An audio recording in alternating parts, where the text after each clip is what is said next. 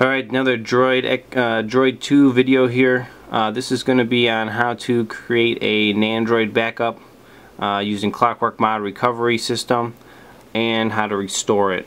So, um, let me just kind of get into this. First thing you're going to want to do is you got to make sure that your device has root access. So you're going to go into uh, your phone. If you don't have this root access already, please uh, watch my videos on how to root the Droid 2. So you're going to have to have super user, which is this, and you're going to have to have this file right here, which is Droid 2 Bootstrap. So once it's installed and you've already done this steps, just reboot recovery. And we're going to boot up into Clockwork Mod Recovery. So let's just let this thing reboot and I will show you how to do this. Okay, so we have booted into Clockwork Mod Recovery. Now we're going to scroll here with our uh, volume buttons and we're going to go down to where it says backup and restore.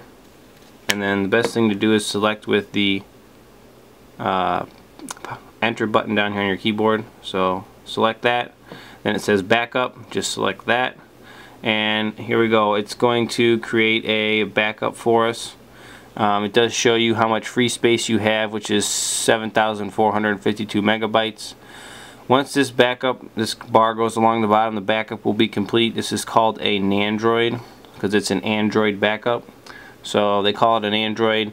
Um, it backs up your operating system, it backs up all of your apps, it backs up all of your data. It basically takes a snapshot of your phone and and it creates a backup for it. It does not back up things like pictures that are on your uh, your SD card, things like that, but all apps, all passwords, um, and your operating system it backs up everything on there. So when this is done backing up you'll have a, an Android backup. It should be saved by the date it is that you backed it up on. And anytime you break a device or you mess things up you can always just go back and enter uh, Clockwork Mod Recovery and restore it. So let's just let this thing finish and then I'll show you the procedure for restoring it Alright guys, so as you can see here it says backed up system, backed up data, which is all your applications, backed up Android security, backed up cache file, uh, didn't back up anything on the external SD card, and now it's generating an MD5 sum. So the MD5 sum is basically something that just makes sure that there's nothing corrupted on the backup.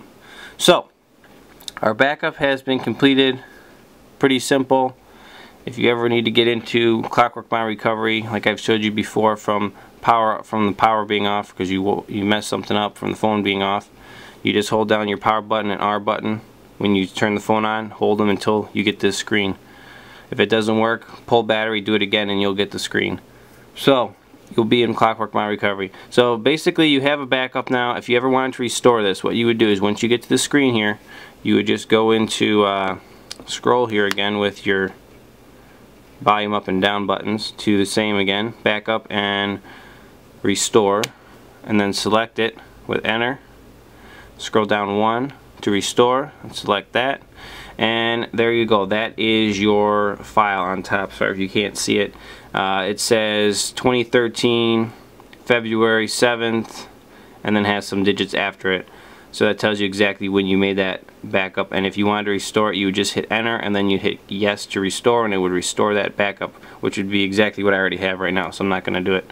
So if we wanted to go back I think, let's see here, we should be able to hit, let's see I'm not sure on this one, delete, yeah the delete key down here gets you to go back.